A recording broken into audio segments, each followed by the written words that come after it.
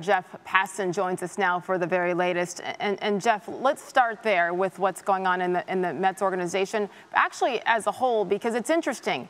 Each team, each player tending to do things differently as they stand up on their own for what they believe are social injustices in certain ways, compared to maybe the NBA, the NFL. What's your take on how the league as a whole is handling this compared to other leagues?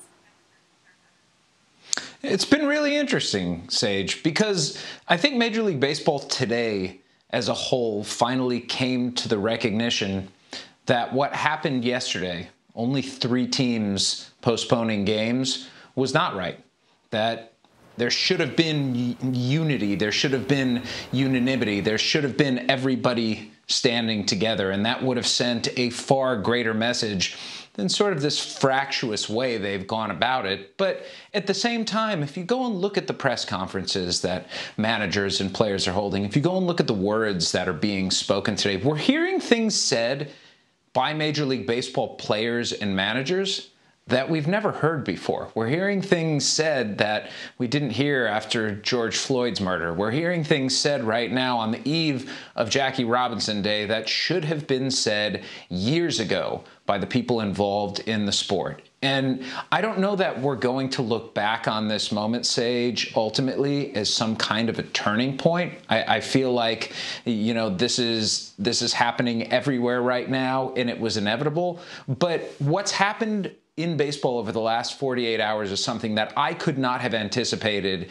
at any point, considering that three years ago, Bruce Maxwell was the only player to take a knee during the national anthem. And here mm-hmm. we are three years later with almost the entire sport postponing games because of racial injustice. And Jeff, as far as the Mets are concerned, uh, basically an, an, embarrassing situation uh, with Brodie Van Wagenen um, as well as he, we just read the apology that he just issued after mistakenly thinking that Commissioner Rob Manfred uh, had issued an idea, at least to the team, how they should protest, how they should handle yesterday's game. Instead, it was his boss, Jeff Wilpon.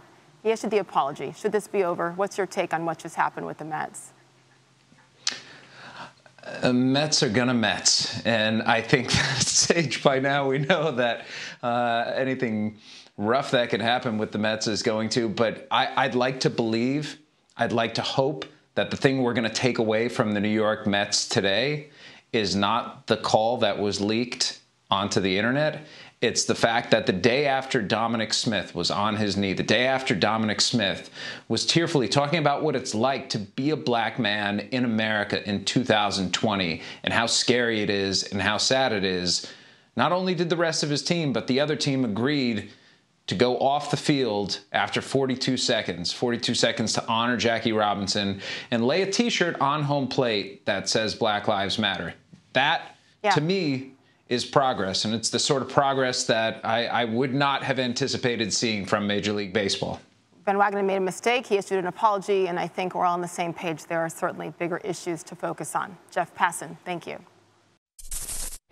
Thank you for watching ESPN on YouTube. For live streaming sports and premium content, subscribe to ESPN Plus.